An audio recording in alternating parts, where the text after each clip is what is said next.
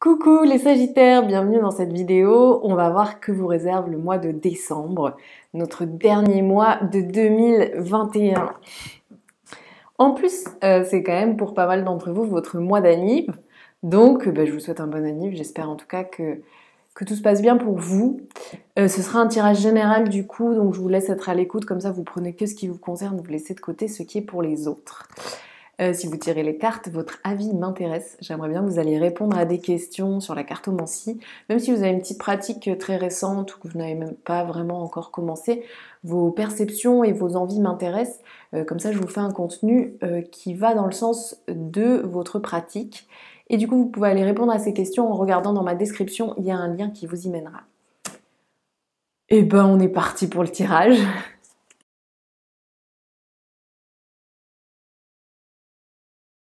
Alors, déjà de façon globale, votre moi. Ah, ah.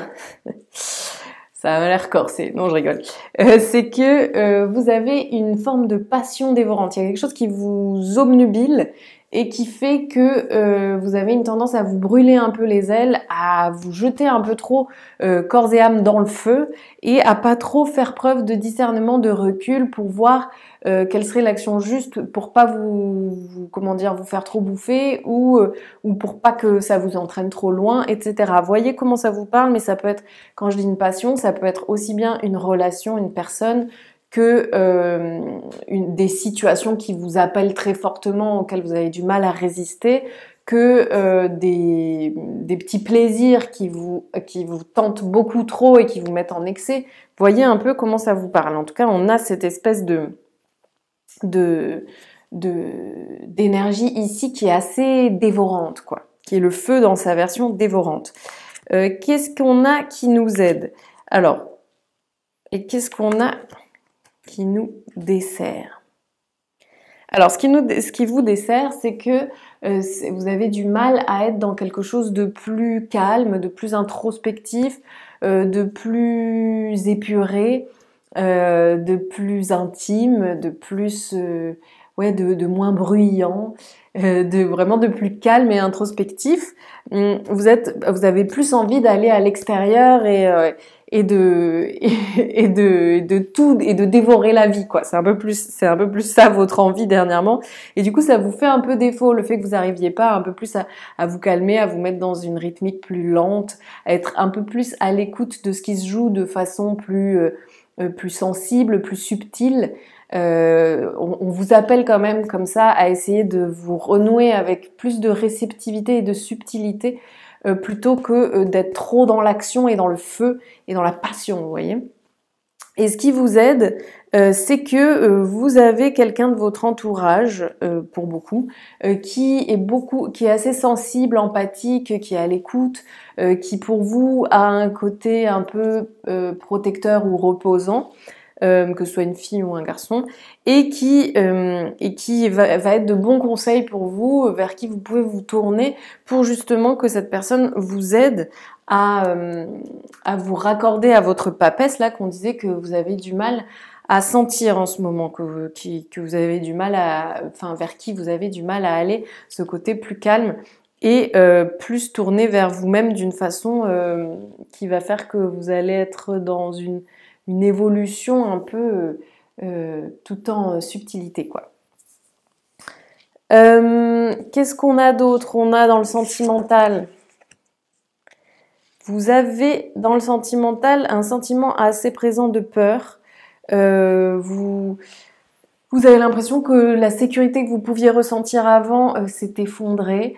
Euh, qu'il y a quelque chose d'assez impalpable et imprévisible et euh, vous avez l'impression de, enfin vous vous sentez en danger quoi. Et du coup c'est ce qui explique aussi, euh, je comprends, ces conditions un peu aléatoires où vous n'avez pas vraiment la main et qui vous font peur, qui vous font sentir dans une forme d'insécurité, c'est normal que du coup ça vous donne envie de, par exemple, je donne un exemple tout bête, mon couple est dans une situation où il est remis en question, ça m'insécurise, ça me fait peur de perdre l'autre euh, que j'aime, etc., mon confort, ma sécurité auprès de cette personne que j'aime beaucoup. Ça me met dans, dans un peur, euh, dans une peur, et du coup, je fonce à l'extérieur, euh, faire la fête ou faire, faire plein de trucs pour oublier ce qui m'arrive et être dans quelque chose d'actif pour pas être tourné vers ce qui, ce qui me fait peur. Et c'est pour ça qu'après, je me, me tourne pas vers ma papesse. Et du coup, ce qu'on vous dit, c'est que c'est important quand même d'aller regarder qu'est-ce qui fait peur euh, plus vous allez le regarder dans les yeux, ce, ce, sujet de peur, plus euh, ça va désamorcer les choses. Et moins ça va vous faire peur, parce qu'en fait vous serez en connaissance du truc. Ce qui fait le plus peur, c'est l'inconnu, c'est quand on sait pas du tout qu'est-ce qui va se passer ou, ou, quel est le problème ou quel est le sujet, quoi. Une fois qu'on s'est tourné vers ça, qu'on a regardé les choses bien en face, il y a au moins 50% qui disparaît. Et du coup, comme ça, vous pourrez passer à, une, un, un, rapport euh, plus, plus constructif parce que du coup la peur ça tétanise un peu quand même. Euh, on va voir ce qui vous aide du coup. Ce qui vous aide c'est que vous êtes conscient ou conscient euh, que vous avez besoin de quitter des situations qui vous font du mal, qui vous blessent, qui vous font souffrir, qu'il y a quelque chose comme ça où vous sentez que vous pourriez vous offrir mieux, que vous pourriez aller vers, euh, plus, plus nourricier et bénéfique pour vous, et du coup vous sentez que c'est l'heure de partir. Il y a des relations à quitter ici euh, vraiment, euh, on sent que pour beaucoup, c'est l'heure de partir, c'est l'heure de, de quitter euh, dans le sentimental. Alors, voyez selon vos situations comment ça parle. Et c'est un tirage général. Donc, bien sûr, si tout va très bien dans votre couple et que c'est aux autres que je suis en train de parler, n'allez pas remettre les choses en question alors que vous ne ressentez pas de peur, il n'y a pas de souci et vous n'avez pas envie de quitter. Mais pour beaucoup quand même de Sagittaire en décembre, on ressent qu'il y a une relation euh, qui, euh, qui, qui, demande un peu euh, à être quitté, où vous avez besoin de prendre le large. du coup, ça peut aussi être euh, pour certains et certaines, des relations euh, qui sont même pas de, couple, mais qui sont juste des personnes qu'on voit fréquemment, avec lesquelles on a une intimité, qui en fait nous tirent vers le bas, nous font du mal, sont des passions dévorantes, mais sont plus autodestructrices que porteuses. Et du coup, c'est ça qu'on vous inviterait à quitter ici. Excusez-moi, je vais me moucher. Je suis enrhumée. On m'a volé la couette toute la nuit. Qu'est-ce qui euh, vous dessert? Ce qui vous dessert, c'est que vous avez les émotions euh, en pagaille.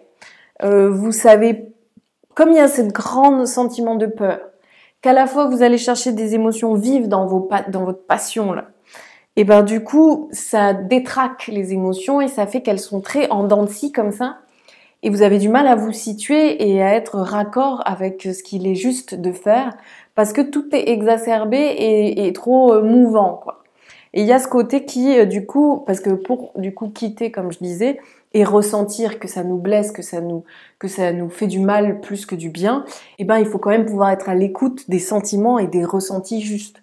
Or, là, j'ai une pagaille émotionnelle qui fait que je sais plus trop où j'en suis et ça me dessert sentimentalement. Ça fait que j'ai du mal à y voir clair et que euh, facilement je peux prendre une chose pour une autre, quoi. Du coup, c'est ça ce qu'on nous dit. Donc vous êtes quand même dans un mois qui a l'air assez tumultueux dans le sens où il vous arrive pas mal de choses et euh, où vos émotions ou vos ressentis sont très très, euh, comme je disais, exacerbés. Parce que ce qu'on voit quand même déjà rien qu'ici, pour ceux et celles qui suivent un peu le Tao, qui connaissent un peu d'ailleurs, si vous avez envie d'apprendre cet oracle, allez voir, j'ai fait des vidéos euh, et j'en ferai d'autres euh, parce que c'est un oracle qui est très très intéressant et qui est assez euh, complet dans sa structure, donc il y a beaucoup de choses à en dire. Et là, du coup, ce qu'on voit quand même, c'est qu'on a l'abysse ici dans le sentimental qui est entièrement élément eau profonde donc entièrement abysse, mais comme son nom l'indique. Et du coup, il, c'est l'élément dans ce qu'il a de plus brut et, fort, quoi. Et on a la même chose en centrale avec la saisie, qui est du 100% feu. Donc là, on est dans très tout à 100%. Quoi. on va voir ce que nous réserve le professionnel. Peut-être c'est plus tempéré. C'est plus tempéré. on a la famille. Donc du coup, dans le professionnel, ce qu'on a pour vous, c'est que euh, vous vous posez un peu des questions de comment vous insérer au sein euh, du tissu humain euh, professionnel de la façon la plus juste, de pas prendre toujours les mêmes places un peu excessives, que ce soit dans un sens ou dans l'autre, mais de trouver quelque chose de plus correct, de plus clean, quelque chose qui fait que vous êtes ce genre de personne que vous appréciez de côtoyer vous dans le professionnel. Ces personnes qui sont sans histoire, qui n'ont pas des réactions exagérées à certaines situations, qui prennent pas les choses trop personnellement. Enfin, voyez un peu comme c'est général, quels sont les quels sont les endroits où vous pouvez être un peu euh, excessive ou excessif, ou alors où vous pouvez réagir d'une façon un peu trop, euh, euh, comment dire, épidermique ou, ou nerveuse ou, d'une façon trop avec les tripes, quoi, alors que vous pourriez être dans quelque chose qui est plus dans le souci d'harmoniser le groupe, en fait. Voyez un peu comment vous pouvez vous inscrire euh, dans le groupe d'une façon qui l'harmonise et qui fait qu'à la fin de la journée, vous êtes là, j'ai été l'humain que je prône être euh, exemplaire dans le professionnel. Euh, bien sûr, c'est pas pour le côté moralisateur parce que on enfin c'est pas trop la question quoi. De enfin c'est pas pour vous dire soyez un bon humain, c'est pour vous dire vous soyez en accord avec ce que vous prônez pour qu'à la fin de votre journée vous soyez heureuse et heureux. Qu'est-ce qui vous aide et qu'est-ce qui vous dessert? Ce qui vous aide, c'est que vous êtes quand même quelqu'un qui a très clair le souci de la justice euh, et de la justesse. Vous avez en vous quand même la question de la justice et de la justesse. Vous êtes quelqu'un qui a des idées, euh, a des idéaux, euh, a une philosophie de vie, voit les choses d'une certaine façon, est curieux quand même et curieuse de ce qui, de ce que peuvent être les, questionnements existentiels et, et même sociétaux, etc. Donc vous avez toute cette fibre qui aime et qui demande à ce que les, choses et les êtres soient justes. Donc ça, ça va vachement vous aider à, vous mettre vraiment à une place qui vous, qui vous corresponde et qui aille en accord avec vos idéaux. En plus, quand même, mine de rien, le, Sagittaire, dans sa définition un peu pure, après ça dépend de vos ascendants, de, euh, votre personnalité, euh, de votre signe lunaire, de ceci, de cela, euh, mais quand même, le Sagittaire, c'est quelqu'un qui est très euh, dans la philosophie, dans, dans les idées, euh, dans, dans l'envie d'échanger, de partager, de débattre, enfin de, de, de, comme ça faire avancer un peu son point de vue, ses points de vue, etc. Donc c'est très vous que de ici dans le professionnel vous poser ces questions d'une façon intelligente et juste. Et du coup, ça va vachement vous aider cette carte de la justice qui est une majeure la deuxième du coup de votre tirage avec la papesse. On va voir ce qui vous dessert. Donc ce qui vous dessert, c'est que par contre, vous avez moins l'élan euh, qu'à d'autres moments. Il y a un truc comme ça où il y a un peu une, une perte d'élan, une perte de motivation, de, euh, de, mojo, euh, pour ceux et celles qui connaissent ce terme. En tout cas, on sent que ouais, la motivation, l'inspiration, la créativité a un peu moins au beau fixe qu'à d'autres moments. Et du coup, c'est ce qui peut faire aussi que du coup, vous êtes moins peut-être occupé par surfer une vague de, euh, de, de, de, projets euh, qui vous, qui vous motivent, qui vous inspirent et, et, dans lequel vous êtes nourri, ce qui fait que vous êtes un peu tourné vers, euh, vers les humains et vers le, le, le, le milieu pro ou le, le groupe pro plutôt que vers le travail lui-même. quoi. C'est peut-être pour ça que ça se joue comme ça.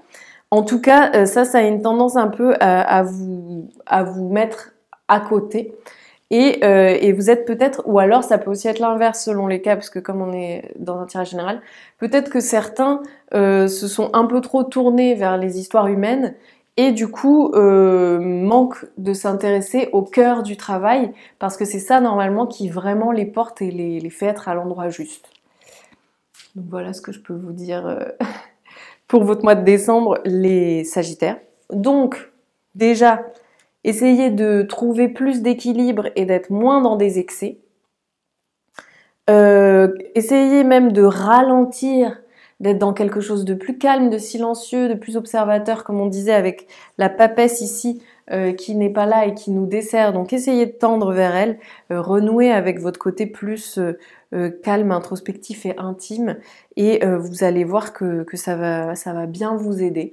Si vous avez des personnes de votre entourage qui, euh, qui sont assez comme ça, calmes, empathiques, altruistes, qui ont une forme de, de bienveillance et qui, qui voient clair en vous, qui vous comprennent bien, qui, qui, sont à l'écoute, à qui vous pouvez confier les choses en toute, en toute sérénité, n'hésitez pas à vous tourner vers ces personnes, à leur demander conseil, ça leur fera vachement plaisir de vous aider et puis ça pourra vous aider à retempérer un peu ce qui, ce qui est un peu trop, un peu trop tempétueux. Voilà ce que je pouvais vous dire pour votre mois de décembre. Euh, qui s'annonce haut en couleur. J'espère que vous en profiterez bien. Allez vous abonner, liker, commenter et partager. J'ai été contente de faire cette guidance avec vous. Je vous souhaite le meilleur. À bientôt. Ciao.